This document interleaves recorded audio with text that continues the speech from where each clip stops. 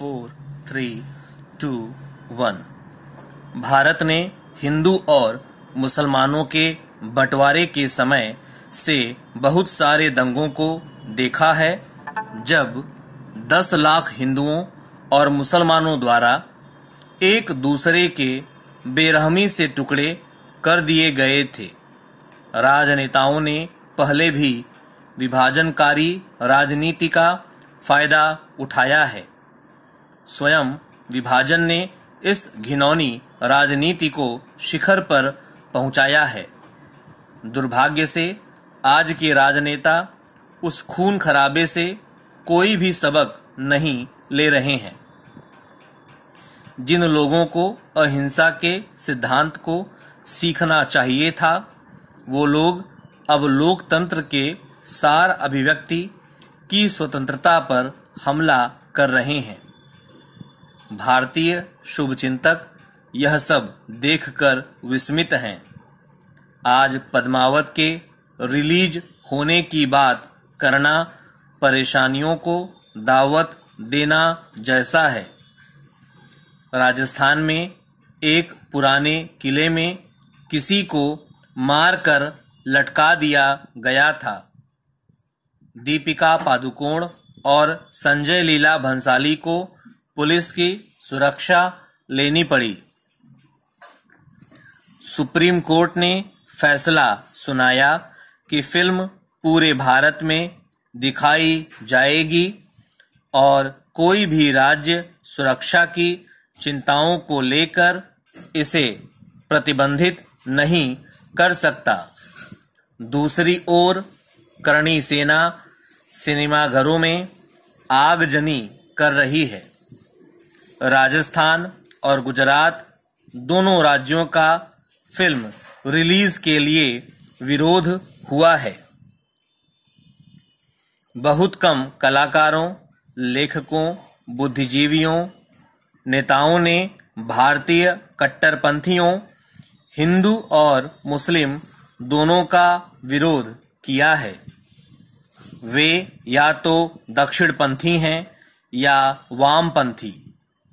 जो लोग मुस्लिम कट्टरपंथियों का समर्थन करते हैं, वो लोग हिंदू कट्टरपंथियों द्वारा हमला किए जाने पर सामने खड़े हो जाते हैं।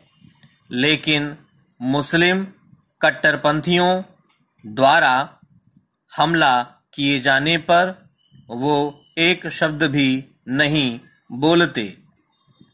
न सिर्फ़ राजनेता, बल्कि कलाकार और बुद्धिजीवी भी बेईमान हैं, दो चेहरे वाले हैं और सिर्फ़ अच्छे समय के दोस्त हैं। वे केवल उन्हीं राजनीतिक दलों के प्रति वफादार हैं जो उनकी मदद करते हैं। कोलकाता में टॉलीवुड की मांग है कि पद्मावत फ़िल्म को दिखाया जाना चाहिए। यह एक स्वागत करने योग्य मांग है, लेकिन ये बुद्धिजीवी और कलाकार तब कहाँ थे जब ममता बनर्जी ने मेरे मेगा शो दुसहाबास पर रोक लगा दी थी।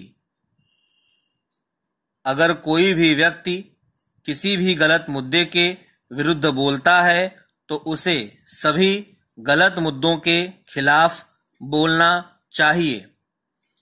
लेकिन अगर आपने कुछ चुने हुए विषयों का विरोध, राजनीतिक लाभ पाने के लिए किया है तो यह खतरनाक है।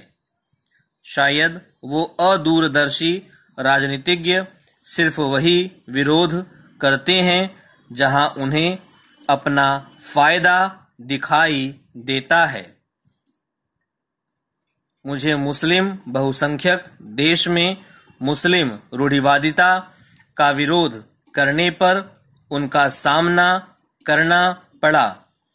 मुझे हिंदू बहुसंख्यक देश, भारत में हिंदू कट्टरपंथियों के खिलाफ बोलने के लिए गलत समझा जाता है, जिस देश को मैं एक उदार देश मानती हूँ और अपने दिल से प्यार करती हूँ।